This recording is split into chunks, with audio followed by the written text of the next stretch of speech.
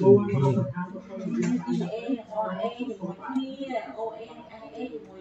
នឹងហើយចឹងឡើងហ្នឹងហើយ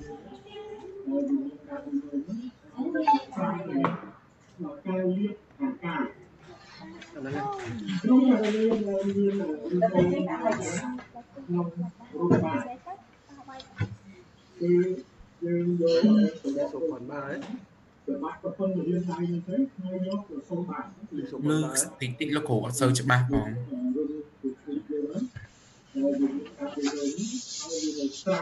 បើបងឯងលើតិចចឹងដាក់កាសហើយបងដាក់កាសរៀងច្បាស់ជាងបាទបាទបាទបាទបាទបាទអរគុណចា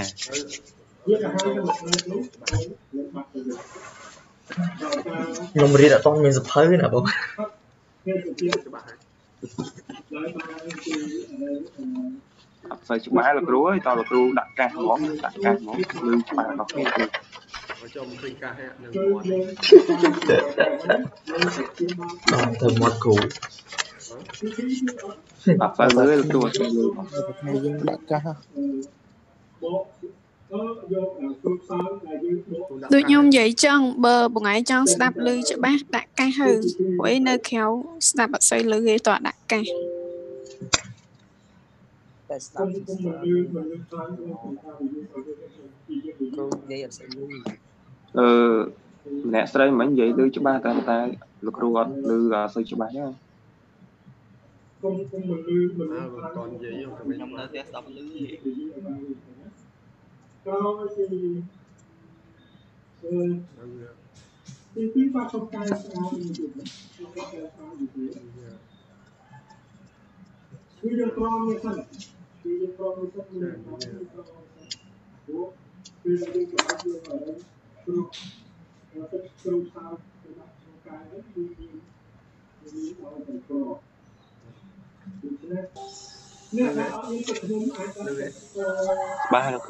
ិ លយើងអរិញព្រោះទឹកគ្រូសាស្ត្រទៅដាក់ក្នុងកាយនេះគឺយើងយើងឲ្យតែក្រមដូច្នេះនេះថាអត់មានទឹកខ្ញុំអាចទៅច្បាស់លោកគ្រូច្បាស់អស់លឺចាប់ដើមយើងចាប់ដើមមិញបាន60នាក់គ្នាយើងអស់ប្រហែលពីណាពីណាប្រធានណាយើងប្រធានថ្នាក់ដឹងដែរបើរៀនអនឡាញចឹងជាក៏មានយើងមានណាប្រធានថ្នាក់ មិនដឹងថាពីណាគេប្រធានណាលោកគ្រូពួកអីអឺនៅក្នុងក្រុមហ្នឹងមាន master ហើយនិង sub master ពីរក្រុមផ្សេងផ្សេងមិនបញ្ចូលគ្នាអញ្ចឹងអត់ដឹងថាមួយណាពិតប្រាកដចាគេអត់គេអត់គេអត់តន់អឺឲ្យបញ្ជីយើងឈ្មោះយើងទេអញ្ចឹងហើយមានហើយប៉ុន្តែសង្ស័យ master អត់តន់ចូលអញ្ចឹង ទៅ master ពីពីរនាក់នៅក្នុងក្រុមអីចាំឥឡូវយើងចាំទីទៀតឬក៏យើងអាចចាប់ដើមទៅហ្មងគ្រូចាប់ផ្ដើមបានចាប់ដើមបានណាតោះឥឡូវយើងអឺអឺតាក់ទិនជាមួយនឹងឯកសារដែលយើងយកមករៀនយើងហ្នឹងគឺឲ្យមាន material ឬក៏ strength of material ក៏បានឯកសារហ្នឹងគឺគឺផ្ញើទៅយើងវិញនៅក្នុងអឺអ្នកខ្លះក្នុងអីនៅក្នុងពេលដែលវាទៅទៅគឺថា Telegram ទុកអញ្ចឹងអាចផ្ញើនៅក្នុង classroom បាននៅ Telegram ដាក់អុយអុយទៅសួរដូចនៅក្នុងឯកសារនេះនៅគឺ share អមុនឺនេះយើងយើងយកមកលើថាតើវាមាន ឥឡូវនៅក្នុងឯកសារនេះគ្រូបានបកប្រែនៅក្នុងនឹងជាភាសាខ្មែរប៉ុន្តែគាត់ថាបកវាមិនទាន់អស់ទេធ្វើបដាបដាធ្វើម្ដងតិចម្ដងតិចឥឡូវមានច្រើនហើយយើងអរិញទីពីមូលីនីគឺកន្លែង slide គួរកាត់ចូល slide មិញមានរូបភាពឈ្ងុយគួរឲ្យទទួលទានណាមិនពិបាក slide នេះដូច្នេះឥឡូវនៅក្នុង slide នេះយើងជួយមិនអញ្ចឹងណាយើងអឺការហើយការហើយយើង បានទេបាទបានទេអូខេព្រោះមានមានដែលយើងស្ដាប់បានលោកគ្រូស្ដាប់បានលោកគ្រូបាទឥឡូវជៀសវាងការអឺយើងចូលរៀនអឺជាជាទូទៅជាជាជាទម្លាប់អឺគូត្រូវតែណែនាំអឺភូមិយើងឲ្យស្គាល់សិស្សយើងក៏លើពួកយើងលើកទី1ដែលអឺរៀនមួយខ្ញុំអញ្ចឹងត្រូវតែឲ្យស្គាល់គ្រូ សិស្សឲ្យគាត់ឲ្យស្គាល់គ្រូប៉ុន្តែគ្រូអាចស្គាល់សិស្សទាំងអស់ដៃដែរថ្ងៃហើយរៀនតាម online ហៅថាពិបាកស្គាល់ទៀតស្គាល់ថាសំឡេងធ្វើការសាកល្បងអឺបានបកកលដល់ជំនាញសូពួកយើងថាហើយមិនរៀនមុខវិជ្ជាព្រឹកណារូបអស់មេកានិកអឺអត់ស្គាល់ឈ្មោះគ្រូអាហ្នឹងយ៉ាប់អើបើដំបូងវាមិនអីទេប៉ុន្តែចុងឆ្នាំហ្នឹងប្រឡងចេញទៅហើយអត់ដឹងស្គាល់អត់ស្គាល់ឈ្មោះគ្រូគ្រូអីអាហ្នឹងក៏បាក់ដែរអ គ្រូដែលបង្ហាត់អឺមុខវិជ្ជា fluid of mechanics នេះក៏ឈ្មោះគ្រូវែងហួរតាមខ្ញុំដឹងហើយណាប៉ុន្តែកន្លងគ្រូផ្សេងទៀតបង្រៀនខ្ញុំមិនដឹងទេប៉ុន្តែកន្លងមកគ្រូវែងហួរគាត់អាបង្រៀន fluid of mechanics ឥឡូវអាតាក់តងមួយខ្ញុំម្ដងអឺគ្រូឈ្មោះឈ្មោះចែស្អីទៅណាឈ្មោះជាសឡាតាំងពួកយើងឃើញនៅក្នុង slide ហ្នឹងមែនទេអឺ ឌីនវ៉ូលីងឃើលេញទេឃើញទេឃើញលោកគ្រូបាទបាទឃើញលោកគ្រូហើយអានេះតកតងនឹងអាសញ្ញាបត្រគ្រូគេទៅសេចេះអឺ ENG ហ្នឹងបកថា engineer អឺស្មើនឹងអនុបណ្ឌិតហើយក្បៀសមួយ PhD គ្រូ Doctor បានន័យថាបណ្ឌិត philosophy of Doctor អញ្ចឹងអឺឈ្មោះជាអក្សរខ្មែរជាវាកុំឲ្យសេឈ្មោះជាអក្សរខ្មែរព្រោះភាសាជាតិត្រូវតែសរសេរត្រូវហើយទៅឈ្មោះគ្រូអឺឈ្មោះជាអក្សរខ្មែរគឺអញ្ចេះអឺ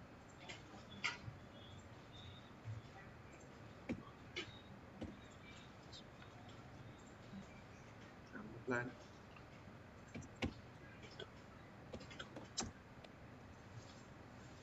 ឈ្មោះ ជាអក្សរខ្មែរគឺ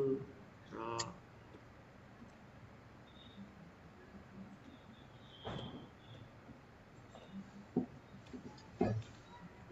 ឈ្មោះលោកគ្រូនឹងជាអក្សរខ្មែរឈ្មោះអញ្ចឹងណាបណ្ឌិតសភាចារអង្គជួននរន ឈ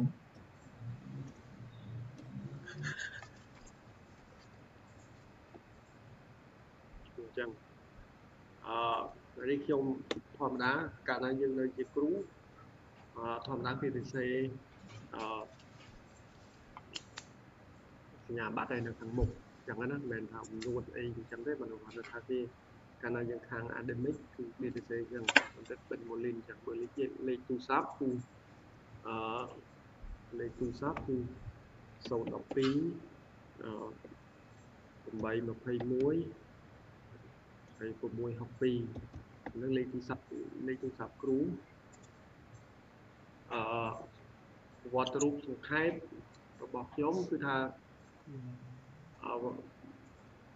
ខ្ញុំបានឡូឡូឡូ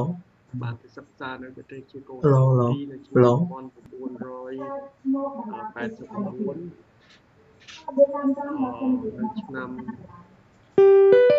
អឺ1997ខ្ញុំចប់ Master Degree បាននេះឆ្នាំ1900 1900 1 2 3 97អឺខ្ញុំចាប់ Master 1 2 3អានោះ Master អានេះ Master Degree ហើយ1 2មួយ3យើងប្រហែលជាកើតនៅឆ្នាំ2000នេះបាមកត់ទៅថ្ងៃនេះខ្ញុំពីរបាទជម្រាបសួរពុកម៉ែបងប្អូនអូអូ2000អូខ្ញុំទៅបានមួយឆ្នាំបានយើងខ្ញុំ មុនខ្ញុំទៅមួយឆ្នាំហើយយើងកើតយ៉ាង96មានបានតែមានអ្នកខ្លះទៅឆ្នាំ2000អញ្ចឹងណាហើយឆ្នាំអឺ2000 2005គឺខ្ញុំចប់ PhD PhD អឺពីឆ្នាំ2005រហូតដល់បច្ចុប្បន្នធ្វើគ្រូរហូតអញ្ចឹងអឺឥឡូវ ជាគ្រូបង្រៀននៅសាលា Norton អឺ part time ប៉ុន្តែ full time នៅ NPAC ស្គាល់ NPAC ជាស្ថានជាតិពហុបច្ចេកទេសកម្ពុជាអឺនៅកោះស្រូវហ្នឹងហើយតួនាទីខ្ញុំហ្នឹងជាសាស្ត្រាសាស្ត្រាចារ្យផងជាគណៈគ្រប់គ្រងថ្នាក់ក្រោយឧត្តមអឺអ្នកណារៀនចប់ពីនេះទៅចង់ទៅរៀនខាងយក master អីខាងនោះក៏មានដែរខ្ញុំ កាន់ពីនោះអាហ្នឹងតេតិនជាមួយនឹងជីវប្រវត្តិសង្ខេបរបស់ខ្ញុំដើម្បីឲ្យសិស្សអឺឲ្យគ្រូឲ្យសិស្សស្គាល់គ្រូអញ្ចឹងណាអឺយើងយើងថ្នាក់យើងប្រហែលជាក្នុងនៅក្នុងនេះវានៅក្នុងជើងនេះខ្ញុំវាអត់ដឹងដែរព្រោះឥឡូវនេះក្រៅគ្រាន់តែលៀបបានហើយ ឲ្យតែ40មិនិតវា restart ដែរអូយអឺចង់សួរពួកយើងថាបើយើងនិយាយផ្សេងផ្សេង restart លៀនចេញក្រៅទាំងសង40មិនិត restart គឺ restart ដូចគ្នាទៅលោកគ្រូដូចតែគ្នាលោកគ្រូដូចគ្នាលៀបវាទៅហើយយើងឥឡូវមិនដឹងធ្វើម៉េចបាន full version របស់វាយើងទៅបងលុយប៉ុន្តែបងបងបងតាមអានេះជាបានក្នុងដែរអញ្ចឹងបងផឹកអានេះជាដល់ដូចជារយៈពេលអឺគូចូល បញ្យលមេរៀនមកទៅណាឥឡូវមកទៅទៅទៅទៅពីទៅមុខវិជ្ជាដែលគ្រូបង្រៀននៅសាលាណតនយើងហ្នឹងគឺមាន4មុខវិជ្ជា Strength of Material អឺ Steel Design ហើយនឹងអឺពីតុកប្រេកុងត្រាំងគេហៅថា Design of the Stress Concrete ហើយបន្តមក Design បាន4មុខវិជ្ជាហ្នឹងពួកយើងអឺនៅដំបូងឆ្នាំទី3នេះប៉ះ strength របស់ជាមួយខ្ញុំហ្នឹងនៅ strength អឺ of material ហ្នឹងភាគ1ភាគ2បន្ទាប់មកប្រហែលជាប៉ះពូជជាមួយខ្ញុំអញ្ចឹងពួកយើងប៉ះខ្ញុំ2ឆ្នាំបានន័យថាជាប់គ្នារហូតបានន័យថានៅក្នុងអឺការសិក្សារបស់យើងរយៈពេល5ឆ្នាំពួកយើងប៉ះខ្ញុំចង់ពាក់កណ្ដាល2ឆ្នាំអឺឥឡូវអឺ និយាយអំពីអឺសេចក្តីផ្ដើមមុខវិជ្ជា strength of material ហ្នឹងគឺជាមុខវិជ្ជាដែលអឺមុខវិជ្ជាតម្រង់ទិសមុខវិជ្ជាតម្រង់ទិសបានន័យថាមិនទាន់ចូលមុខវិជ្ជាឯកទេសទេមុខវិជ្ជាឯកទេសដូចជា steel design អឺ spin design of concrete of ស្អីស្អីហ្នឹងឯងគឺជាមុខវិជ្ជាបច្ចេកឯកទេសអាហ្នឹងមើលយ៉ាងហ្នឹងប៉ុន្តែអានេះអដាក់ឺអមុខស់វិជ្ជាអស់នេះគឺជាមុខវិជ្ជាតម្រង់ទិសអត់អឡើងឺ នៅពេលដែលយើងចង់ទៅរៀនមុខវិជ្ជាឯកទេសបើសិនណាអត់មានមុខវិជ្ជាតម្រង់ទិសនេះទេនៅហ៊ានសួរស្ថៃមកគឺថាវាយើងថាទៅវាលើថាមុខថាវិជ្ជានេះវាតាក់ទង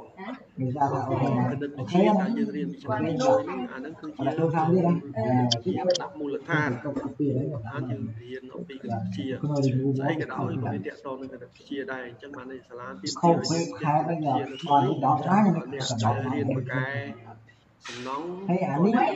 មិនខាំឡើងហ្នឹងមិនបិណ្ឌអានេះឥឡូវពូលីឡាននិនេះយាយពីសេចក្តីផ្ដើមមុខវិជ្ជា strength of material គឺជាការសិក្សាគឺតែមិនបាននេះបាត់មិនបាននេះទៅលីបានអានេះដល់ឡានយើង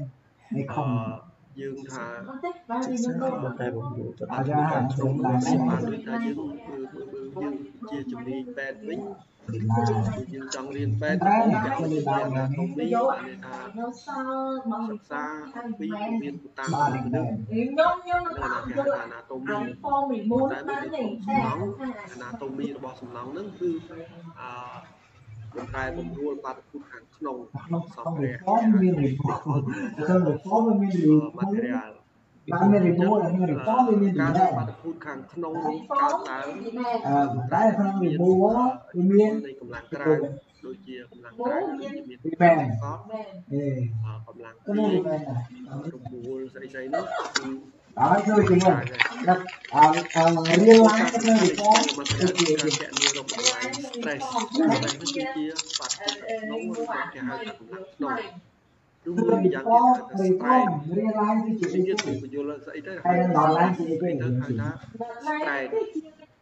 stress ខ្មែរយើងប្រើពាក្យចៃប្រាំ stress ហៅថាយើងចាំ stress រីហ្វមយើង stress ចាំខ្លួនមកចេះរីហ្វមជាហើយស្គាល់បានរៀនតែរៀហ្នឹងនតែច្បាស់សួរហ្នឹងទៅចាក់បាអក់ញ្ចឹងឬឬក៏ក៏ម្ម្យ៉ាងយ៉ាងទៀតគេហៅថា depression ក៏ម្យ៉ាងព្រះដាក់មុខគ្នាទៅអឺការយល់ច្បាស់អំពីបាតុភូតមេកានិកខាងក្នុងនៃសម្ភារៈ ធ្វើឲ្យអ្នកសិក្សារៀនឡើងអឺអាចធ្វើសំណើមានន័យថា design រៀនឡើងគឺអីគ្រោះគេគ្រឿងសង្គមគឺប្រកបដោយសុខភាពមានលក្ខណៈសេដ្ឋកិច្ចដូចជាសំណង់អគារអង្គតែនស្ពានឡានឡានឥឡូវអឺខ្ញុំយល់អាខាងលើនេះស្អីទៅគេហៅថា stress ឬក៏ហៅថាកុងត្រាំងនេះរីមូនអឺ ធម្មតាយើងសិក្សាកុងត្រាំងនឹងដំបូងបំផុតគឺយើងសិក្សាអំពីរីមូនកុងត្រាំងធម្មតាគេហៅថា normal stress យូរនេះហើយ normal stress stress និងឡា stress នថារីមូនឥឡូវ stress និង stress ហើយដល់ឡើងយើងយូរទៅទៅឡើងភាពនេះ đấy cái hai thằng mẹ ភាពមូលនេះអឺកាលណាយើងយកទុកមួយអញ្ចឹងទៅឧទាហរណ៍ទៅថាយើងឲ្យកម្លាំង ừ. ទល់ S1 និង S2 là វា về lại như thì វាអាចយ៉ាងម៉េចក៏ដោយ là សេ về រី lại như thì bỏ S1 S2 ហ្នឹងគឺជាកម្លាំងដែលមានអំពើទៅលើវត្ថុមូលហ្នឹង thì bỏ về lại cái kia thì bỏ អឺកម្លាំងនៃ bây បន្ទុក giờ ពេ thế ជាបន្ទុករៀន cả សូត្រ hai để không à nó không đâu អស់នេះ nó គឺ không ជា không កម្ không លាំង ấy ក្រៅ ដែលអង្គលា về lại cái kia sai không ấy ừ sai là dương bỏ thêm vô mặt mày ឥឡូវយើង đấy សិ sai ក្សា chăng កម្លាំងក្នុង ra យ៉ាង đó ម៉េច chính sai không នៅ ấy ក្នុងគោលការណ៍មេរៀនអស់មកតែ Thứ hai sai mây à nia sai Ê, mây sai mây. ừ anh ấy thì vô កាល dân ណាយើងកាត់ Ê, đã lá cái kia thì điều chăng ừ Ê, thế dân nó chăng không đi mua នេះយើងឃើញគ្រឿងក្នុងឃើញមកចឹងដែរកាលណា con này con ơi chỉnh ក្នុងហើយ đi អ ញ្ចឹងកម្លាំងក្នុងហ្នឹងគឺតាមគោលការណ៍ ừ chứ mà hai nó không đi ថាយើង mua បែង con ចែ là ក nó កម្លាំង chết ក្នុង nó ជាប្រភេទ nó là động chỉnh ទី1 cái kia thì mua bỏ ឬក៏គេហៅថា là កាត់ទឹក đó là cái kia thì về cái kia đi về cái gì vô nó sỏ អ à ឺ đi men đi men អញ្ចឹង vô nó sai ơi nó sỏ អាអស់នោះគឺជាកម្លាំងក្នុងគេហៅថា internal អាកម្លាំងកាត់នេះគេហៅថា shear force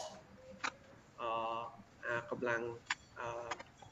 កម្លាំងធម្មតានេះគេហៅថា internal normal force ឥឡូវលក្ខណៈរបស់ shear force ហើយនឹងអឺ normal force shear force និង normal force នេះវាយ៉ាងម៉េចអញ្ចឹងអឺ shear force what is the form and what is the កម្លាំង form ដែលយើងកាត់វា cái ទៅ form គឺវាមានទិសដៅស្របជាមួយនឹងផ្ទៃ tấm ដី đợt sỏ thì mới là sỏ đi mua bó ba người ta đọc chỉnh កាលណាយើង thì កាត់ bó គឺ là កា tao ត់ mày កាត់អា rồi món bộ mới thì bó plan ហើយអឺ đó là normal như force chiếc remain Như chiếc dấu là là ác. sỏ thì là cái reform thì dấu đặt thầy អឺ កែងនឹងផ្ទៃរបស់ đó កា là ត់ cái chiếc remain អ thì ញ្ចឹងកម្លាំងពីរហ្នឹង thì là cái chiếc remain វាជា dấu កម្លាំងដែលមានខនាតអឺគីឡូញូតន tôi kia là on mà dễ được xem ឥ mà ឡូវ bây នៅ giờ ក្នុង không ការ có សិ xem ក្សា Dạ. strength nó of từ material đâu đó là cái chiếc đó là cái chiếc ដែល remain ຂនាត đó វា là គី mua ឡូ đó ញូ là តន cái គឺ chiếc ថា remain វាអត់មានលក្ខណៈទូទៅទេ các bạn ហើយ lên យើង YouTube បែក nó វា sắp ឲ្យ ở ទៅ cơn ជា on stress của em là như chiếc យក remain កម្លាំងទាំងពីរហ្នឹងយកមកចែកឲ្យផ្ទៃកលាវា A យើងបានកម្លាំងក្នុងក្នុងមួយឯកតានៃផ្ទៃអញ្ចឹងអាពេលនេះកាលណាយើងយកមកចែកឲ្យ A យើងបានតម្លៃ normal stress ឬក៏កម្លាំងក្នុង normal stress ហ្នឹងគឺសបញ្ជាក់អំពីកម្លាំងក្នុងគេហៅថាអឺ normal stress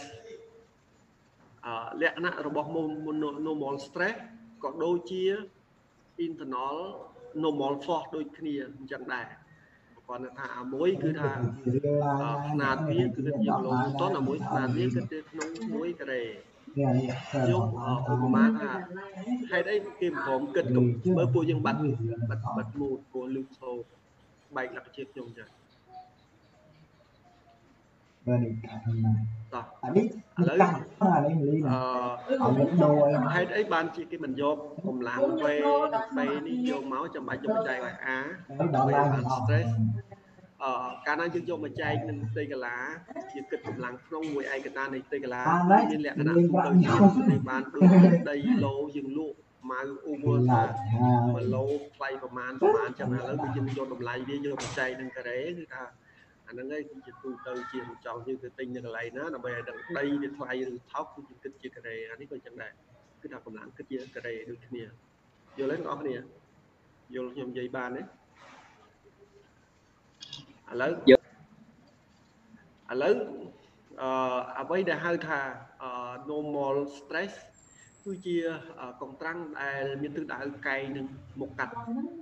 របស់វត្ថុឬក៏ គ្រឿងមង្គមដូចយើងនិយាយពីវត្ថុ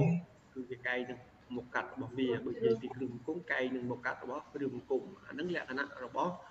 normal stress អញ្ចឹងបើខ្ញុំសួរថា normal stress ហ្នឹងគឺជាកម្លាំងឬក៏ជាស្អីអាហ្នឹងគឺជាកម្លាំងបើហើយគឺជាកម្លាំងក្នុងដែលកើតឡើងដោយសារដោយសារកម្លាំងក្រៅហ្នឹងឯងដោយសារមានកម្លាំងក្រៅហ្នឹងឯងបានមាន sigma ហ្នឹងហើយបើសិនបើអត់មានទេគឺអត់មាន sigma ហ្នឹងទេ អាហ្នឹងអាហ្នឹងលក្ខណៈអញ្ចឹងហើយអាតូនេះតូនេះក៏កើតឡើងដោយភាសាអឺ Ở đây, ở trong ក្រៅ băng này. នេះដែរហៅថា external force Wow. បាន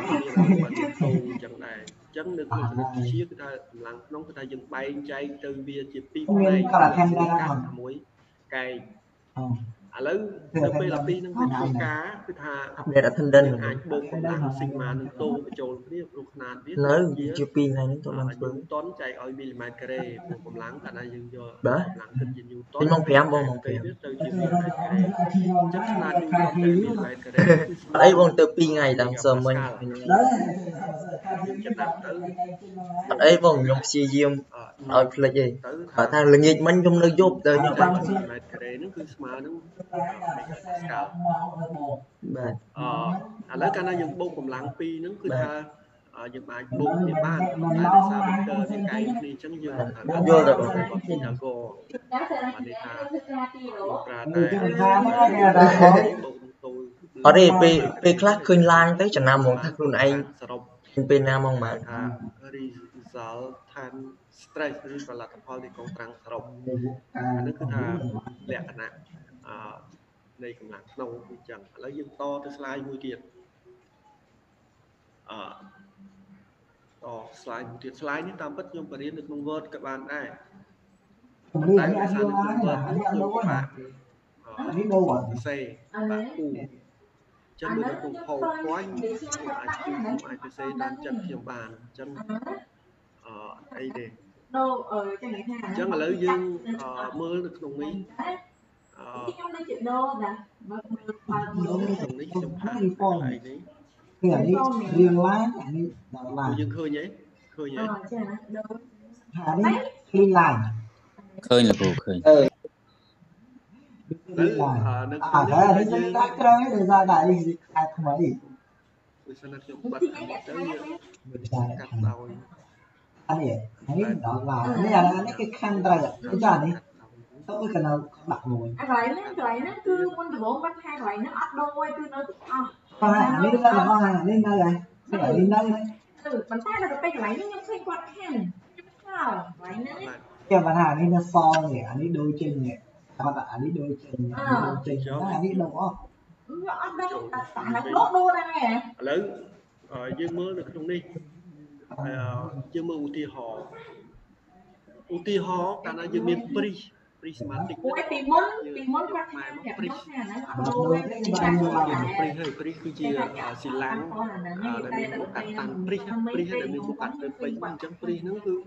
វាអាចរៀងជាត្រីកោណឬក៏អាចជាស៊ីឡាំងអញ្ចឹងទៅថាឥឡូវគឺថាយើងមានរបាព្រិសហ្នឹងគឺអឺរងនឹងការទាញពេលហ្នឹងគាត់របាព្រិសហ្នឹងគឺរងនឹងការទាញ យើងមើលរូបភាព A ពេលខ្ញុំវល់កាលណាវារងនឹងអត់ការទេទាញបើបើសិនជាអានេះចឹកងន្លែងអាពេនេះគឺជា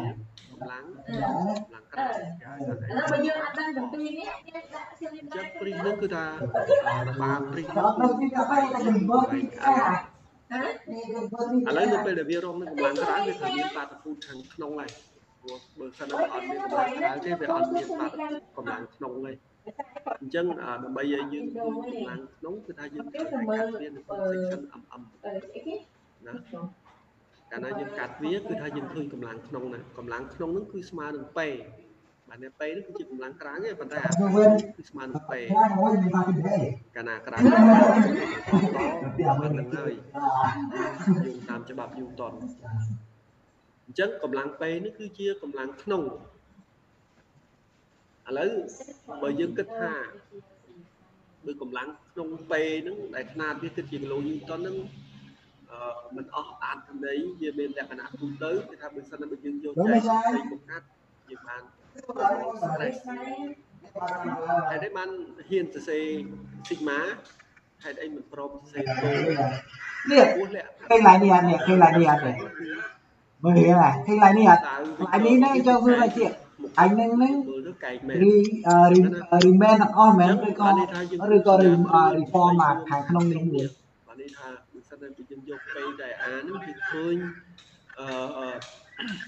បន្ទុករាខ្ញុំដាក់ខណ្ឌឡាយនេះណានេះស្មើពេញមកផ្ទៃមុខកាត់ហ្នឹងគឺក្នុងមួយការ៉េហ្នឹងគឺពេញអញ្ចឹងដាក់តែសូរីឡាយនេះមួយទៅដល់បានហើយស៊ីម៉ានេះគឺបំហើលែយងវាខ្ញុំត្រូវវិញខ្ញុំខ្ញុំត្រូវធ្វើ reform ឲ្យដូចហ្នឹងតែអញ្ចឹងហើយ remove all ឥឡូវអឺ ការឡើងវារងនឹងបានហើយបានហើយបានហើយកម្លាំងពីមើលរឿងអីឲ្យមានសោកអីទៀតគឺបំរែបំរួលឬក៏បំលាស់ទីអញ្ចឹងបានន័យថាឥឡូវក្រោយពេលកម្លាំងពេខាងក្រៅនេះមានអំពើលើរបស់អាហ្វ្រិកយើងគឺថាធ្វើឲ្យវាលូតបានសាច់ដែលតាអញ្ចឹងប្រវែងទៀតត្រូវប្រែប្រួលដើម្បីរកប្រវែងសរុបគឺយកប្រវែងដើម L ហ្នឹងយកមកបូកប្រវែង ឥឡូវអានេះគឺជាលក្ខណៈរបស់ normal stress ដែល sigma ស្មើនឹង P លើ A ឧបមាថាអូលោករឿងមើលខ្លួនហើយអូនអើយ6គុណលោកនេះ8យូគឺលេខឥឡូវឧបមាថាមុខកាត់ អត់ចិត្តរបស់មុខកាត់របស់យើងនេះគឺស្មើនឹងអត់ទេរឿងវាប្រកេកកលាគ្នាល្អណាស់រឿងរ៉េរកផ្ទៃរបស់វាគឺស្មើនឹងផាយអូយល្អមួយអ่ะ4យើងចែកទៅគឺបាទបាទបាទបានន័យថាកម្លាំងក្នុងពង្រាយស្មើនេះគឺស្មើនឹង13.6ញូតុនក្នុង1មីលីម៉ែត្រការ៉េឬក៏13.6មេហ្គាប៉ាស្កាល់បានទេបងប្អូនតាមតែគេតាមយល់ទេហ្នឹងយល់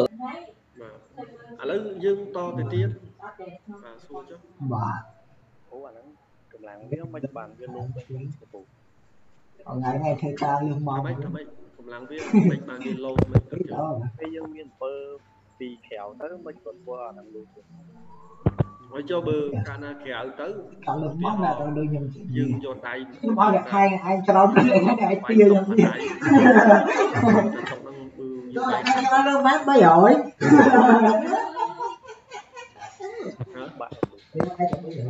អើបើវាយខ្លាំងវាបាក់បើវាយតិចវាអត់បាក់ឯងឥឡូវបើវាយអត់បាក់អានេះមកពីអីមកពីតបវាវាទុំនឹងកម្លាំងជាងកម្លាំងយើង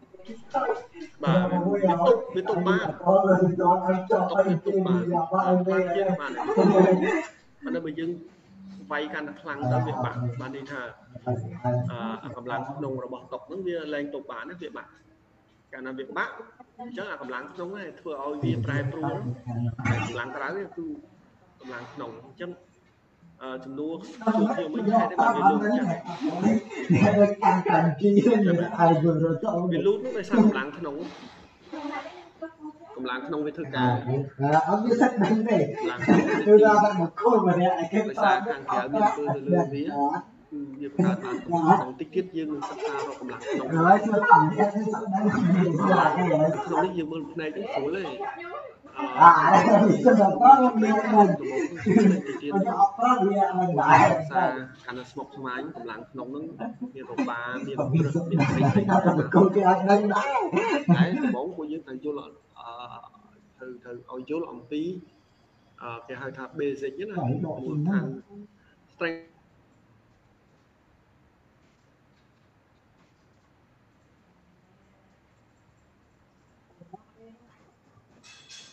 អានេះគឺអឺ x អានេះគឺគឺ x គឺ x អានេះគឺគឺ x អាហ្នឹង ឥឡូវឥឡូវអឺក្នុងនេះគឺថាយើងអាចដាក់ស្មើឥឡូវឥឡូវយើងអាចដាក់ស្មើឥឡូវបើយើងដាក់ជាតម្លៃលេខឥឡូវ a អងបូក a ដឺស្មើប្រមាណ80លោកគ្រូបាទឥឡូវយើងដាក់យើងដាក់ជាអឺនៅក្នុងនេះគឺថាអាអងយើងដាក់នៅក្នុងវងចកចុះបាទន័យថាយើងឡំជាវងចកហើយយើងដាក់នៅក្នុងនេះ គឺថាយើងបានអឺអាអងគឺស្មើនឹងអឺគឺស្មើប្រមាណគឺស្មើនឹង10គុណប៉ុន្មាន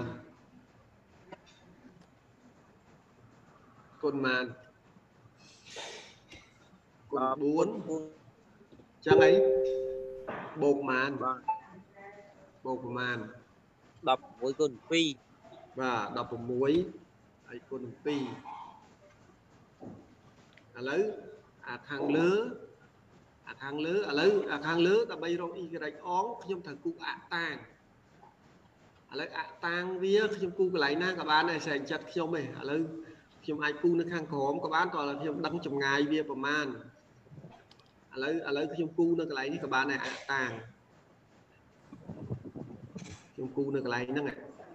ពួកយើងគូនៅខាងក្រោមក៏បានដែរនៅខាងនេះក៏បានដែរស្រីចិត្តយើងឯងអាហ្នឹងឯង ប៉ុន្តែឲ្យដឹងថាចម្ងាយដែលយើងតាំងប្រវែងប៉ុណ្ណាឥឡូវខ្ញុំគូនៅខាងលើខ្ញុំគូខាងលើឥឡូវខ្ញុំខ្ញុំចូលនឹង AutoCAD អឺនៅក្នុង AutoCAD អឺ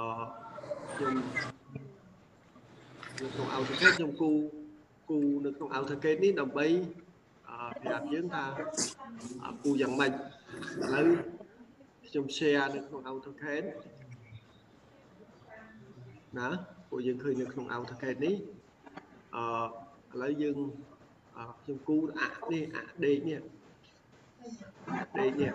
អានេះគឺអាក់ដេកខ្ញុំគូនៅទីនេះអញ្ចឹងតែឥឡូវខ្ញុំឲ្យពណ៌វាពណ៌ប្រហពណ៌ខៀវចុះអើពណ៌នៅកន្លែងហ្នឹងពណ៌ពណ៌នៅកន្លែងនេះលេខ out ពណ៌ខៀវ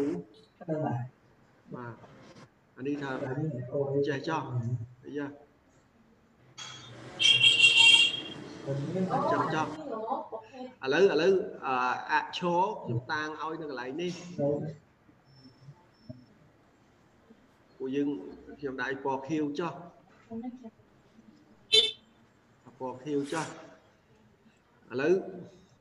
អអៈនេះខ្ញុំឲ្យអានេះគឺ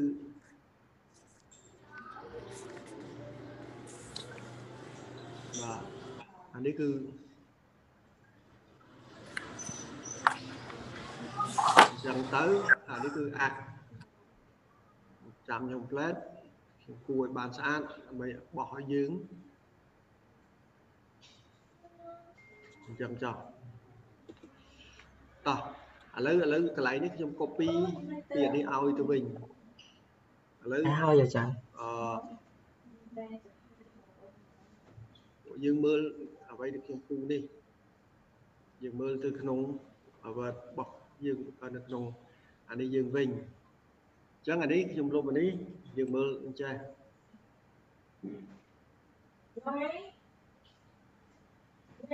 អញ្ចឹងចុះឥឡូវឥឡូវអឺពីចងាយពីអតាងមកទីប្រជុំទងន់របស់មុខកាត់ទី1ស្មើអីនេះ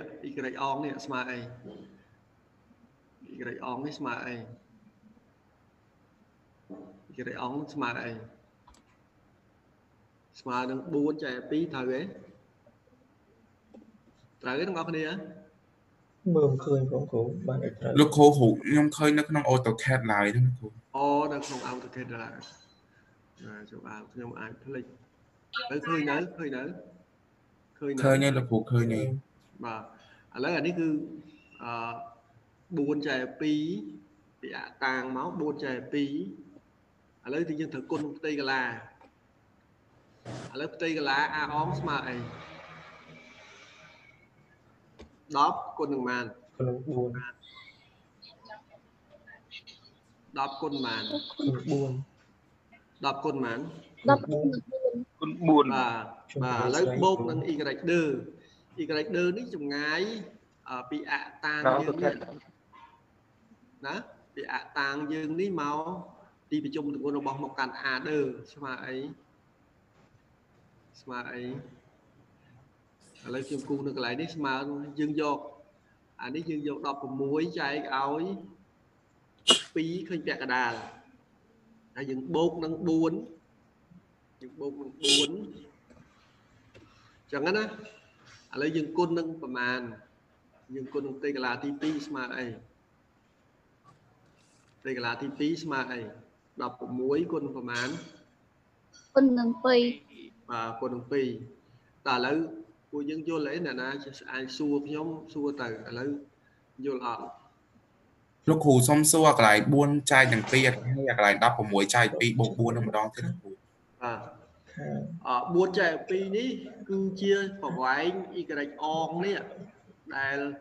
ស្មើនឹងពីទីតាំងដែល អដែលខ្ញុំតាំងដំបូងខ្ញុំតាំងនៅកន្លែងណាប៉ុន្តែខ្ញុំតាំងនៅកន្លែងហ្នឹងអញ្ចឹងបានន័យថាចម្ងាយពីអតាំងហ្នឹងទៅទីប្រជុំទងន់របស់អមកកាត់អាអងគឺបានទីណាបងគឺបានមកម៉ាស៊ីនវាស្មើនឹង4ចែក2នៅពាក់កណ្ដាលរបស់វាហ្នឹងណាយល់ទេពីនេះមកដល់នេះពីនេះមកនេះពីនេះមកនេះនេះទីប្រជុំគាត់វានៅទីនេះមិនស្មើនឹង4ចែក2ត្រូវទេ បាទលោកគ្រូយល់ហើយបាទឥឡូវដល់ពេលយើងគុណនឹងផ្ទៃកលាវាអាអងនេះគឺស្មើនឹង10អឺគុណនឹង4ឥឡូវយើងបូកនឹងផ្ទៃកលាអឺទី2គឺស្មើនឹងប្រមាណ16គុណនឹង2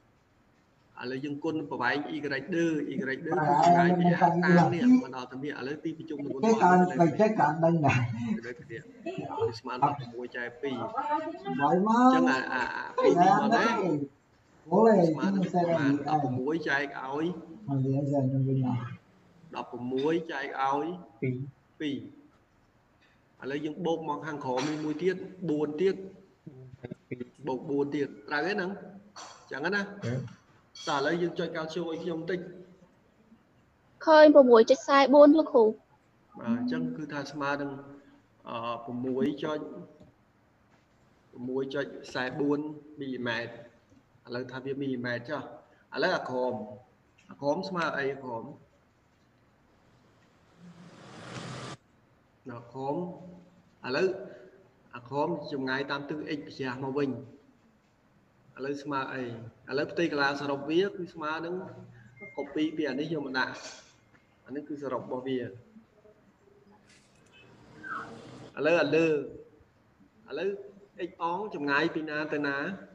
ធៀបនឹងអីអានេះធៀបនឹងអាអានេះធៀបនឹង x អានេះធៀបនឹង y ឥឡូវធៀបនឹង y យើងធ្វើម៉េច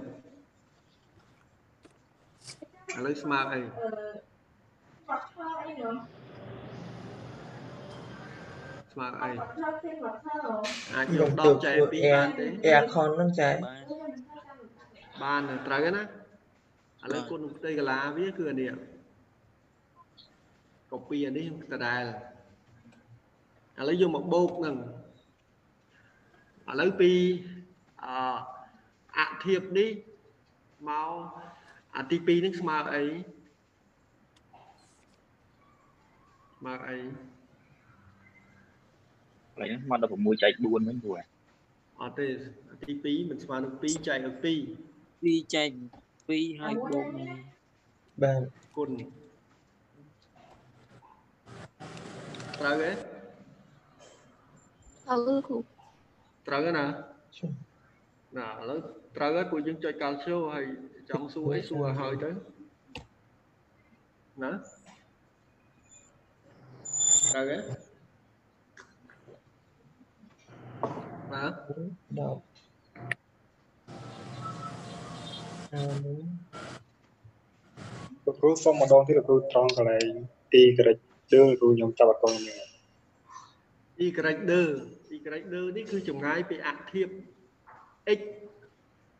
ទៅ មកកាត់ទី2អាដឺណាអញ្ចឹងអញ្ចឹងអានេះអានេះអានេះអានេះអា x អានេះអា x អានេះអា x អានេះអា y អញ្ចឹងឥឡូវអ16ចែក2ពាក់កណ្ដាលរបស់មកកាត់អាដឺអានេះអាដឺចឹងណាឥឡូវមកអធៀបវាអានេះវាយនេះយើងបូកពីរតង់អញ្ចឹងបាននេះថាអានេះអានេះអានេះទីប្រជុំទី1គឺអានេះគឺទីហៅថាកម្លាំងពេអង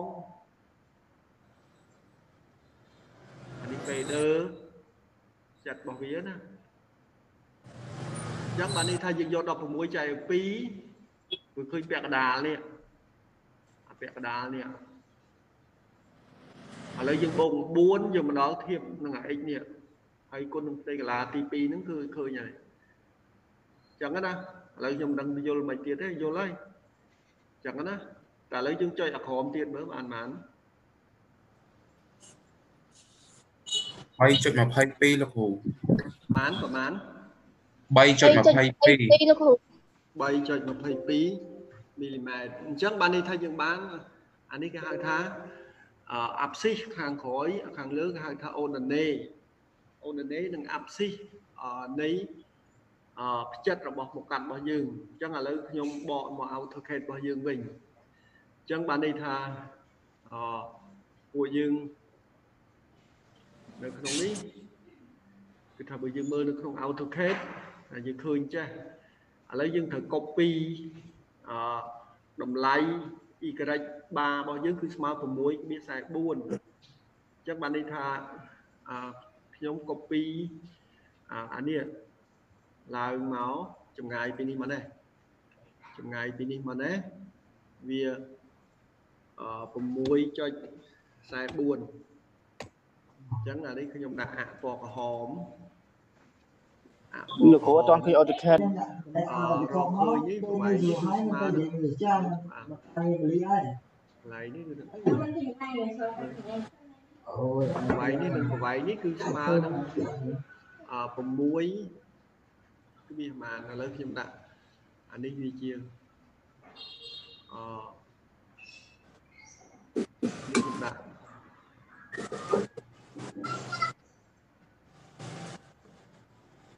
ឥឡូវវាចិត្ត restart ទៀតអានេះអានេះដាក់ប៉ុណ្ណាអញ្ចឹងប្រវែងនេះគឺថាយើងឃើញ6ក្បៀអឺ44ណា6ក្បៀ44ហ្នឹងអញ្ចឹងអានេះគឺស្មើនឹង y អានេះខ្ញុំដាក់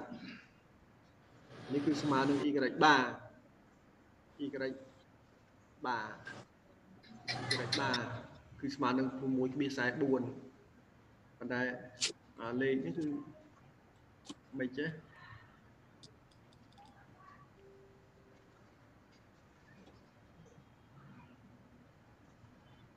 អូម្ដងទៀតមើលអឺ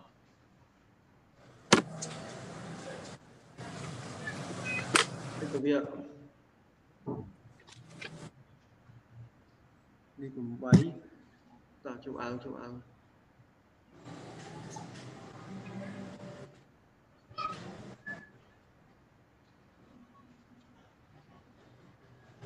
មួយក្បៀ44នេះគឺស្មើនឹង y បារអានឹង y បារណា y បារហើយ x បារគឺស្មើប៉ុន្មានឥឡូវយើង copy ពីអានេះគឺអានេះអានេះ copy ពីអានេះ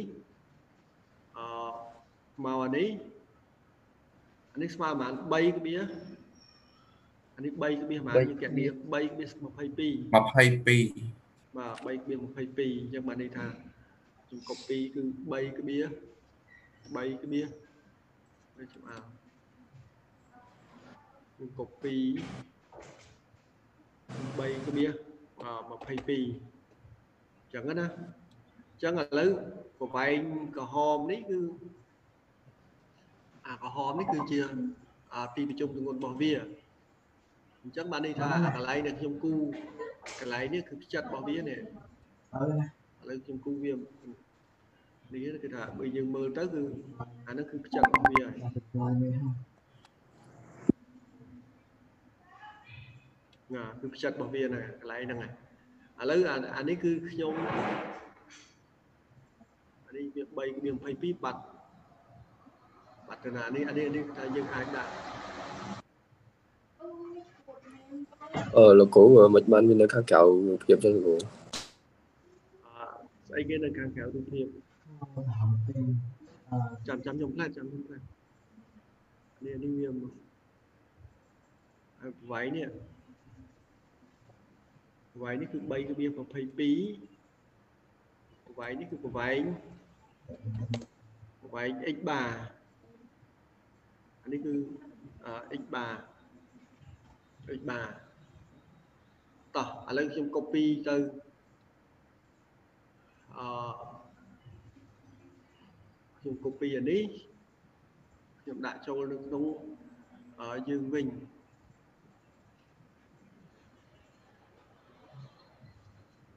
ហើយពួកយើងមើលខាងនេះអឺនៅក្នុងនេះអ្វីដែលខ្ញុំកណនីគឺនៅទីនេះហើយខ្ញុំ share ទៅនេះអឺមកទៅនេះវិញពួកយើងឃើញទេឃើញទេឃើញទេឃើញលោកគ្រូបាទឥឡូវចង់សួរអីឥឡូវចង់សួរអីឥឡូវឃើញឥឡូវឥឡូវអានេះអានេះពួកយើងថែមថែមថា តួនេះបាណាអូខេយល់ណាស់ណែថាអានេះយើងដាក់បាទៅអានេះគឺយើងដាក់បាទៅឲ្យយើងចាំតោះឥឡូវចង់សួរអីសួរតែចាំបើកឲ្យសួរបាទលោកគ្រូជួយជួយបញ្យល់កន្លែងកិច្ចដើមសារទៀតបានទេគ្រូកន្លែង2ចែក2អិចដឺហ៎អិចដឺបាទបាទបាទអិចដឺហ្នឹងគឺថាឥឡូវអានេះគឺអាអ ដែលខ្ញុំតាំងអានេះគឺអា x ដែលខ្ញុំតាំងខ្ញុំគូកន្លែងណាក៏បានដែរឥឡូវមុខកាត់ហ្នឹងគឺដោយសារអឺបើសិនបើមុខកាត់ជាចក្រកោនកែងមួយចេះខ្ញុំមិនដឹងថាទីប្រជុំទម្ងន់វាឬក៏ផ្ចិតនៃមុខកាត់របស់វាគឺវានៅកណ្ដាលហើយដោយសារខ្ញុំមើលឃើញនៅកណ្ដាលហេតុបាននៅកណ្ដាលបើនៅកណ្ដាលតើយកប្រវែងជ្រុងនេះចែកជា2 ហើយអាជ្រុងនេះចែកជា2គូសទៅកន្លែងណាកាត់គ្នាបន្ទាត់ពីកាត់គ្នាបានចំណុចមួយចំណុចហ្នឹងគឺជាចំណុចកណ្ដាលយល់ទេនិយមន័យរបស់អឺចំណុចបានន័យថាតើមានបន្ទាត់ពីគូសកាត់គ្នាហ្នឹងវាបានអឺចំណុចមួយអញ្ចឹងណាអញ្ចឹងអឺឥឡូវមុខកាត់របស់យើងនេះដូចជាចក្រកោនកែងយើងមើលឃើញនៅកណ្ដាលប៉ុន្តែមុខកាត់យើងនេះគុំគ្នាដោយសារមុខកាត់ចក្រកោនកែង2 អញ្ចឹងកាលណាមកកាត់ចក្រកោនកែង2គឺថាយើងត្រូវបែងចែកវាជា2ផ្នែកបែរទៅផ្នែកណាក៏បានដែរផ្នែកទី1គឺអានេះគឺជាផ្ទៃនេះនិងផ្នែកទី1យល់ទេទាំងអស់គ្នានឹងផ្នែកទី1ហើយអាផ្ទៃមួយនេះគឺជាផ្នែកទី2នៃមកកាត់នេះនេះគឺផ្នែកទី2អញ្ចឹងណា នេះគឺផ្នែកទី2ខ្ញុំចែកវាជាផ្នែកទី2ឥឡូវតាមទ្រឹស្ដីរបស់យើងដែលយើងបកស្រាយកាលពីម៉ោងដំបូងគឺថាបើយើងចង់រកអឺអាប់ស៊ីនិងអូដនេយើងបកស្រាយទៅយើងបានអង់ទីក្រាលហ្នឹងហ្នឹងចឹងអាអង់ទីក្រាលហ្នឹងកាលណាយើងបញ្ចេញពីអង់ទីក្រាលមកវា y នេះជាចំនួនថេអានេះវាជាអញ្ញត្តិ dA ហ្នឹងប៉ុន្តែប៉ុន្តែ a ហ្នឹងវាមាន2អញ្ចឹងយើងត្រូវប្របែកវា a អងនិង a a ដឺ ហើយ y នេះគឺ y អងនិង y ដឺដែរអញ្ចឹងយើងចែកអតិកាលាសរុបឥឡូវ y អងហ្នឹងគឺបានមិន y អងយើងមើលនៅក្នុងមេរៀនរបស់យើងនេះខាងលើនេះប្រវែង y ហ្នឹងគឺជាកម្លាំងគឺជាប្រវែងដែលធៀបនឹងដេកអា x គឺធៀបជាមួយនឹងអឆបានន័យថា អាប់ស៊ីនិងអូដូនេមើល compress ល្អជាងចា៎ខ្ញុំភាគច្រើនអាប់ដេតនឹង compress ហើយចូលអូរួចអាប់ស៊ីគឺយើងធៀបជាមួយនឹងអាបើនិយាយគេ compress ហើយភាសាក៏ដោយធៀបចាំពេលខ្ញុំពុកចាំចាំ compress ភាសាទៀតអាប់ស៊ីធៀបនឹងអា y អូដូនេធៀបនឹងអា x ចាំមកអញ្ចឹងទៅបងប្អូនគ្នាណាឥឡូវយើងអឺកណនី y អងយើងដឹងហើយថា y អងនោះវាឈរ ព្រោះវាធៀបនឹង ax កាលណាយើងនិយាយពីអឺ y នេះគឺជាអូណនេអាអូណនេធៀបនឹងអីកាលណាអូណនេធៀបនឹងអីឥឡូវទៅសេចំណាំទៅអូណនេធៀបនឹង x អាប់ស៊ីធៀបនឹង a y អញ្ចឹងបានន័យថាឥឡូវបើអូណនេធៀបនឹង a x បានន័យថាវាឈរ វាធៀបនឹង x អញ្ចឹងឥឡូវយើងគូសចំយើងយក4ឥឡូវយើងមើលផ្ចិតចម្ងាយពីអយើងតាំងទៅផ្ចិតនៃអាអងមិនស្មើនឹង4ចែក2ណាស្មើនឹង4ចែក2បើខ្ញុំធុញអាងឹកងក់ងឹកងក់ណាឥឡូវអឺធៀបអឺ y នេះគឺមកកន្លែងនេះគឺស្មើនឹង4ចែក2 ព្រោះពីអឺផ្ទៃកន្លាមួយអឺមកអធៀបរបស់យើងនេះគឺស្មើ4ចែក2យើងឃើញចំណុចកណ្ដាលវាហើយឥឡូវយើងគុណនឹងផ្ទៃកន្លាវាទៅគឺថាយក4គុណនឹង10ឥឡូវយើងបូកនឹង y ដឺ y ដឺហ្នឹងគឺចម្ងាយពីអឺគឺជា ordinate ដែលធៀបជាមួយនឹង ax គឺថាស្មើនឹងពាក់កណ្ដាលរបស់16នេះហើយយើងបូកនឹង4 បាននៅពាក់កណ្ដាលរបស់16បូក4គុណនឹងផ្ទៃកន្លាទី2ហើយចែកផ្ទៃកន្លាសរុបគឺស្មើនឹង6គ្រា44អញ្ចឹង6គ្រា44នេះនិយាយលោកគ្រូនិយាយរួមឲ្យទៅមុខកាត់ចែកចែកពី2ទាំងអស់បាទថាម៉េចថាម៉េចថាម៉េចនិយាយនិយាយរួមឲ្យទៅមុខឲ្យទៅមុខកាត់ចែកជាពីរទាំងអស់មែនគ្រូអេអាហ្នឹងអាស្រ័យទៅយើងមើលឃើញវាបើវានៅកណ្ដាលមិនចែកជាពីរហឡូ បាទបាទវាវានៅកណ្ដាលមិនតចែកជាពីរព្រោះយើងមើលមិនឃើញបើបើមកកាត់គុំគ្នាទាំងអស់យើងមិនដឹងថាវាកណ្ដាលវានៅឋានៈប៉ុន្តែចាក់កោនកៃហ្នឹងមើលឃើញយល់អត់ណាបាទបាទអញ្ចឹងកាលណាយើងអឺយកទៅចែកទៅយើងឃើញ6វា44អញ្ចឹង6វា44ហើយគឺជាអូដនេនោះយើងពុះពីអតាងមកគឺយើងបានចម្ងាយហ្នឹងហើយអញ្ចឹងបានបន្ទាត់មួយហើយឥឡូវបន្ទាត់មួយ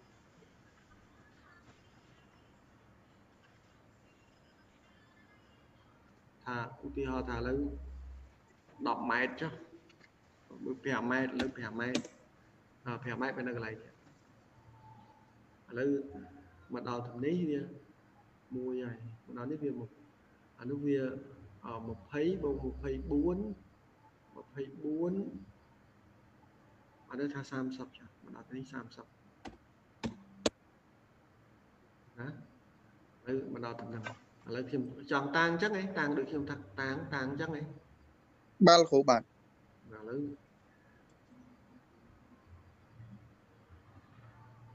អញ្ចឹងចុះឥឡូវខ្ញុំដាក់អានេះឥឡូវតើដឹងប្រវែងដែលយើងតាំងឥឡូវប្រវែងហ្នឹងឥឡូវធម្មតាយើងបោះបកគោលយើងត្រូវតែដឹងថាប្រវែងប្រមាណឥឡូវពីនេះមកដល់ទៅនេះប្រមាណម៉ែត្រ6ម៉ែត្រណានេះ6ម៉ែត្រដែរ អានេះមកនេះប្រមាណ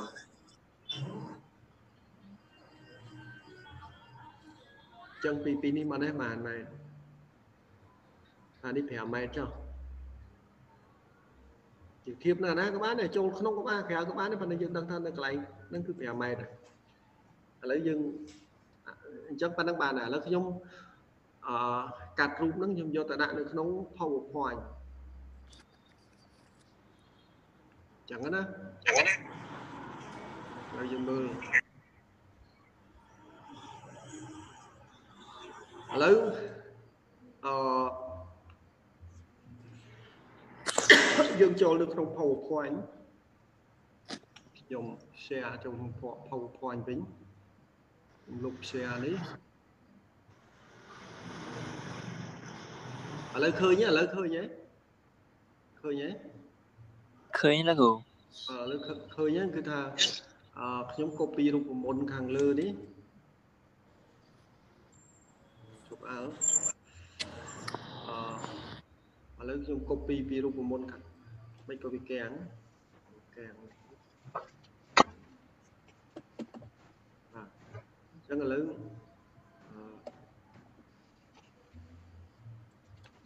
កាំង ង computer ហ្នឹងអឺ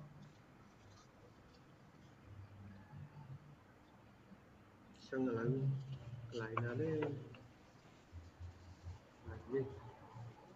បាទចឹងឥឡូវខ្ញុំ copy រូបមន្តនេះណារូបមន្តនេះ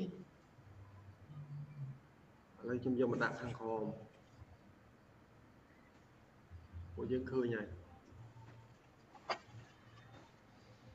តោះឥឡូវមកយើងដាក់ជាលេខឥឡូវពួកយើងស្មើអីឥឡូវឥឡូវយើងអាអងបូកនឹងអាដឺស្មើអី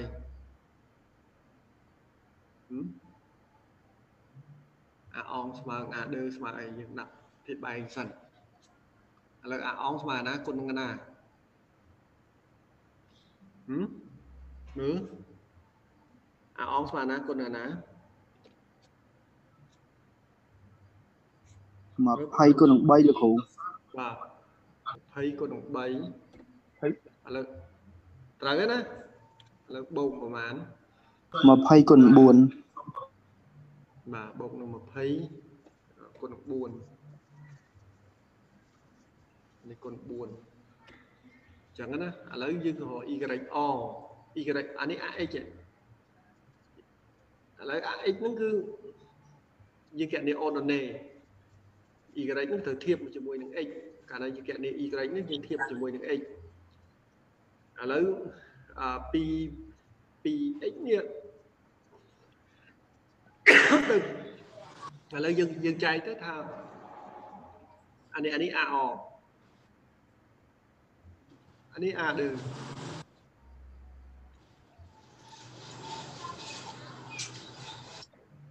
ឥឡូវពី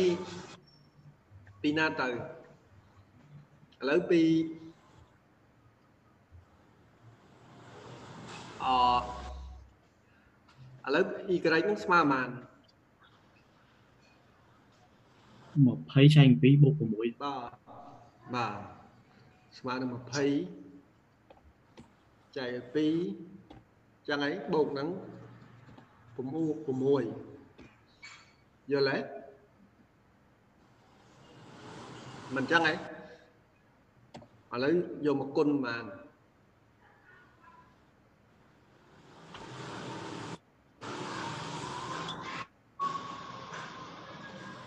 ត្រូវទេណាត្រូវទេអ្នកគ្នា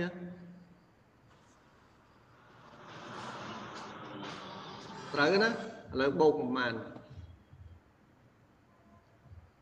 បូកប្រមាណ លោកគ្រូគុណនឹង20គុណ3តែលោកគ្រូអរគុណ3 20គុណ3អរគុណ3ឥឡូវប៉ុន្មានទៀត20ចែក2បូក5គ្រូ20ចែក2មិនកើតពេលយើងធៀបមក2ហើយស្មើបើ4ចែក2បូកនឹង26បាទ26 4ចែក2 ចឹងអីចាំផ្លែហើយ4ចែក2បូក26គ្រូបាទបូកនឹង26ឥឡូវដាក់20បូកបូកនឹង6ទៀតណាឲ្យអ្នកដែលមិនយល់នឹងយល់ទៅចឹងណាប៉ុន្តែលេខវាកាន់តែច្រើនឥឡូវបូក26ត្រូវត្រូវណាមិនចឹងហ៎ឥឡូវផ្ទៃកលាវាស្មើបាន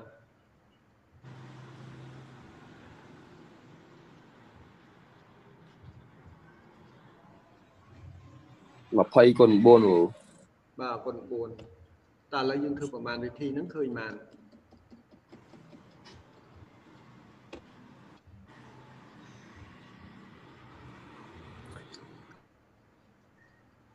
ឥឡូវពួកយើងនេះទៅខ្ញុំ copy ពីអានេះខ្ញុំដាក់ខាងក្រោមមួយទៀតអើយមិនដែរ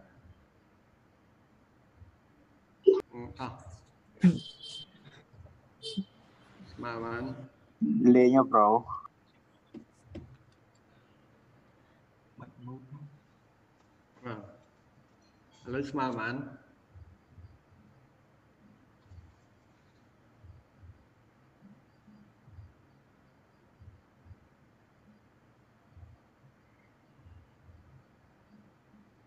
មកមកឡើង លោកគ្រូខ្ញុំសុំសួរកន្លែង y អងតិចមើលបានបាទសួរទៅគូកន្លែង y អងហ្នឹងមិនអត់យកបូកនឹង4នៅខាងលើទៀតចឹងបូកតែត្រឹម6ហ្នឹងឯងបូក4នៅខាងលើព្រោះយើងពីពីអដែលយើងតាំងទៅទីប្រជុំទម្ងន់របស់អាអាអងអូបាទបាទចាំណាអរគុណលោកគ្រូបាទ តែឥឡូវធ្វើប្រមាណវិធីខ្ញុំឲ្យត្រូវ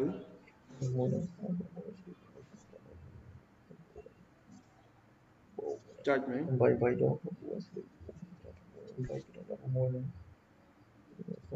6បាត់អានេះទៅបាត់បាត់អាអីមិញហ្នឹងអាស្អីមិញមកសើអាហ្នឹងឈ្មោះអីអត់លឺសុំមាត់ក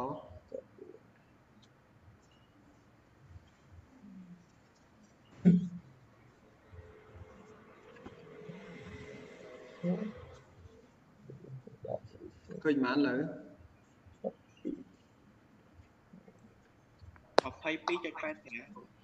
បាទ22 22.85មីលីម៉ែត្រចឹងណាឥឡូវឥឡូវកាលណា22.85យើងត្រូវគូ22.85ហ្នឹងអានេះថាខ្ញុំ share នៅក្នុង AutoCAD យើងវិញ នៅក្នុងនេះគឺខ្ញុំ share នៅទៅក្នុង AutoCAD យើងវិញអឺឥឡូវយើងគូពីអាក់ហ្នឹងយើង copy ពីអាហ្នឹងមកបានន័យថាឥឡូវបើយើងដាក់នេះអញ្ចេះគឺថាយើង copy អឺ22គ្រា85គឺថាវានៅទៅហ្នឹងហើយ ឥឡូវយើងឃើញនៅទៅហ្នឹង22.85ដាក់ពណ៌ហមណាអានេះអានេះពណ៌ពណ៌ខៀវតោះឥឡូវយើងយើងត្រឡប់យើងវិញបានន័យថាខ្ញុំដាក់កូដ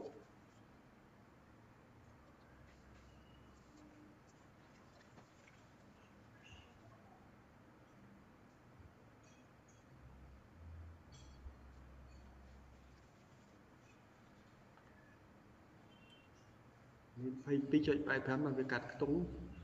តដាក់ចេះ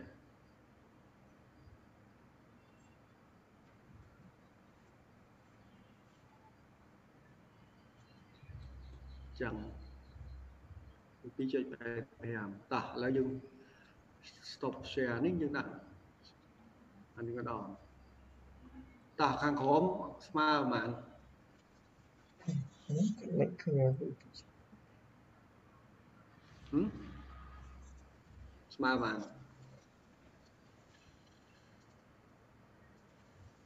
អាក្រមនេះឥឡូវផ្ទៃកន្លាវាដូចគ្នាខ្ញុំ copy យកមកដាក់ណាហើយចុះលើឥឡូវស្មើបានឥឡូវ x អងស្មើបាន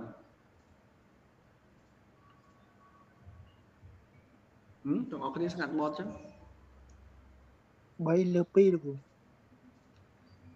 ស្មើ3លើ2ឥឡូវស្មើឥឡូវស្មើ3លើ2 3លើ2ហើយមិនទៀតបូកបូក7បូក5បាទត្រូវហើយបូកនឹង7បូកនឹង5 20យ៉ា4បូក8 ឥឡូវគុណផ្ទៃកន្លះអាអងត្រូវហើយណាឥឡូវអាអងវាស្មើនឹងអមកប្រហែល20គុណប៉ុន្មាន20គុណនឹង20គុណ3គុណ3បាទឥឡូវបូកបន្តទៀតឥឡូវស្មើអីទៀត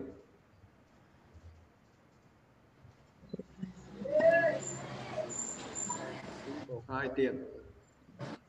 10ចែកឲ្យ2បូក7បូក5បាទ10ចែក2មិនបូក7ទេ10ចែក2បូកប៉ុន្មាន900បូក5បាទបូក5ស្មើនឹង10ហើយចែកឲ្យ2បូក5អាហ្នឹងអីណា2000ឥឡូវគុណផ្ទៃកន្លាវាប៉ុន្មានផ្ទៃកន្លាវាប៉ុន្មាន ស្អីគេស្អីគេស្អីគេស្អីគេអានោះគឺអេ HP HP បើន័យថាឲ្យ HP 20ចុះ HP បូក5ប្រូសុំបកវាយនេះប្រូតោះពីដុំ64សិប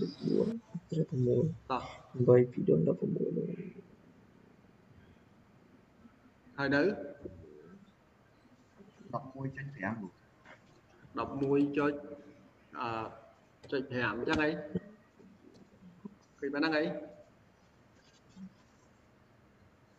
មែនទេបាទបាទ11.5អញ្ចឹងខ្ញុំគូអឺខ្ញុំទាយថាបើយើងកណនាទៅឃើញនេះអាក់នឹងឃ្លាយមកដល់ទៅនេះលោកគ្រូកន្លែង x លោកគ្រូសុំសួរមួយគ្រូបាទកន្លែង x2 គ្រូ x2 ស្មើ20ចែក2បូក5 x2 ស្មើ20បាទត្រូវហើយ20ចែក2បូក5ត្រូវហើយណាឥឡូវពួកយើងចុចកាល់ស្យូមិញខុសទៅដឹងភាសាដូរលេខហ្នឹងខុសគ្រូមកខ្ញុំយក10បាទយក10ខុសហើយយកម្ដងទៀតចឹងម្ដងទៀត ស្មើប៉ុន្មាន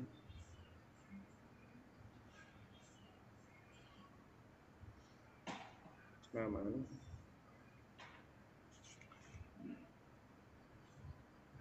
14.35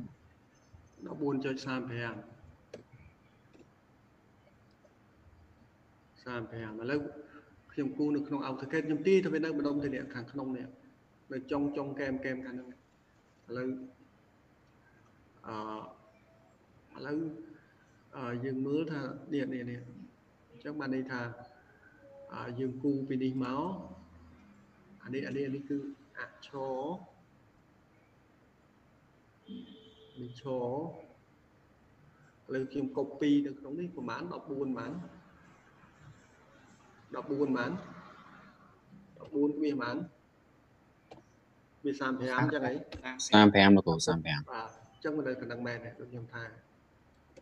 ឃើញហើយអញ្ចឹងអាក្រហមហ្នឹងគឺជាអទីប្រជុំទងន់របស់វាហើយអាក្រហមហ្នឹងអញ្ចឹងយកកន្លែងនេះយើងបានផ្ចិតកាលណាយើងគូអពីជប់ជុំគ្នានេះគឺចិត្តនៃមុខកាន់ហើយខ្ញុំគូនេះដាក់វាចឹងចុះអាយ៉ាចឹងចុះ ណាចិត្តមុខកាត់ហ្នឹងចឹងឥឡូវខ្ញុំអចឹងបានន័យថាឥឡូវខ្ញុំកាត់អានេះយកមកយកបញ្ចូលយើងវិញចឹងឥឡូវយើងយើងមើលថាអានេះគឺគឺខ្ញុំ share នេះមកវិញណា ចុះឥឡូវយើងមើលទៅវានៅទីនេះលោកគ្រូសុំសួរមួយលោកគ្រូបាទអឺខ្ញុំសុំសួរលំហាត់ទី1ហើយដូចថាវាជាឧទាហរណ៍មួយដែលទីប្រជុំទងន់វានៅក្រៅសាច់ផ្ទៃរបស់វាបើយើងសម័យទៅលើភាពជាក់ស្ដែងតើយើងឧទាហរណ៍ថាយើងយកដុំអិតមួយទៅត្រហើយទីប្រជុំទងន់វានៅខាងក្រៅអញ្ចឹងយើងទល់វាមកជាប់ទៅយក មិនដែរយកចង់និយាយអីលំហាត់ទី1ចង់បាទគ្រូបាទចង់និយាយថាទីប្រជុំទងន់របស់លំហាត់ហ្នឹងគឺនៅខាងក្រៅសាច់ផ្ទៃទាំងអស់ហើយបើយើងឧទាហរណ៍ថាបើយើងមានបន្ទុកមួយតម្លាក់ទៅលើជើងតសមម្ដើមហើយ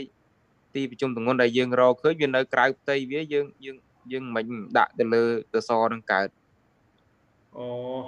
អឺអានឹងអានឹងអឺយើង ខ្ញុំខ្ញុំយល់ហើយអឺចាំខ្ញុំគាត់ទៅបញ្យល់សិន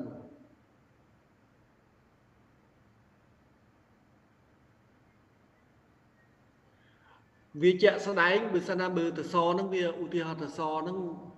វារងនឹងកម្លាំងខ្ញុំគូចេះចេះអូទីហៅថាឃើញខ្ញុំគូអីខ្ញុំគូគូអី ឃើញគូឃើញបាទឥឡូវចេះអានឹងថាចេះចង់ឥឡូវឥឡូវធម្មតាអានេះមកកាត់មកកាត់វាវាជាក់ស្ដែងនេះអញ្ចឹងហ៎បាទថាចេះឥឡូវវារងនៅកម្លាំងទាញអញ្ចឹងបានវាទាញមកសាច់ទាំងអស់ហ្នឹងណាបានន័យថាបើវារងកម្លាំងទាញបានន័យថាមកសាច់ទាំងអស់នេះគឺអឺនេះមកសាច់នេះ មកសាច់ហ្នឹងគឺវាទាញទៅខ្ញុំគូចេះទៅអញ្ចឹងបានន័យថាវាទាញអញ្ចឹងវាទាញមកពេញមកសាច់មកផ្ទៃវាហ្នឹងមកប៉ុន្តែកម្លាំងហ្នឹងគឺថាដូចជាទាញបើយើងគិតជាកម្លាំងតូលគឺដូចជាងទាញនៅក្នុងខ្យល់ហ្នឹងអញ្ចឹងមកដូចជាទាញនៅក្នុងខ្យល់ហ្នឹងមកបើតាមពិតវាមិនមែនទាញនៅក្នុងខ្យល់គឺថាវាទាញនៅក្នុងអឺមកមុខកាត់ហ្នឹងមកពេញមកផ្ទៃវាហ្នឹងឯង បើវាធ្វើការធ្វើការពីកម្លាំងក្រៅហ្នឹងបានន័យថាវាទាញពេញមកផ្ទៃហ្នឹងឯងមកផ្ទៃហ្នឹងឯងប៉ុន្តែបើផ្ទៃហ្នឹងគឺថាបើសិនបើយើងអឺបើយើងចង់បំលែងអាកម្លាំងក្នុងមួយផ្ទៃនឹងឲ្យមានកម្លាំងតូលគឺថាវានៅកន្លែងហ្នឹងវាវាដូចថាវានៅកន្លែងហ្នឹងប៉ុន្តែធាតពិតវាមិនមែននៅកន្លែងហ្នឹងទេព្រោះនឹងខ្យល់យល់យល់យល់ខ្ញុំយល់នេះហើយយល់ហើយ យល់បានខ្លះលោកយល់បានខ្លះបាទបាទបាននេះបាននេះថាវាអានឹងនៅក្នុងខ្យល់ឯតាមពិតវានៅក្នុងខ្យល់វាមានកម្លាំងអីវាទទេវាអត់ខុសពីមកកាត់ហ្នឹងប៉ុន្តែវាបើវាទាញជាក់ស្ដែងមិនមែនទាញនៅក្នុងខ្យល់ទេវាទាញមកកាត់នឹងទាញទាំងអស់ទាញជាផ្ទៃហ្មងទាញនៅក្នុងផ្ទៃហ្មងទាញនៅក្នុងតម្លៃ sigma ហ្នឹងហើយស្មើនឹង P ចែក A នេះប៉ុន្តែបើយើងបំលែងអា P ហ្នឹងអា P ហ្នឹងព្រាបបានដូចជាវានៅទីតាំងនៅទីប្រជុំទងន់ហ្នឹងដែលបកស្រាយនៅក្នុងមេរៀនយើងនេះក្នុងមេរៀនយើងនេះអញ្ចឹងណានៅក្នុងមេរៀនយើងនេះអញ្ចឹងអសម្រាប់ថ្ងៃហ្នឹងថ្ងៃដំបូងប៉ុណ្្នឹងសិនទេពួកយើងហ៎បើច្រើនពេកហ៎សំយើងអឺ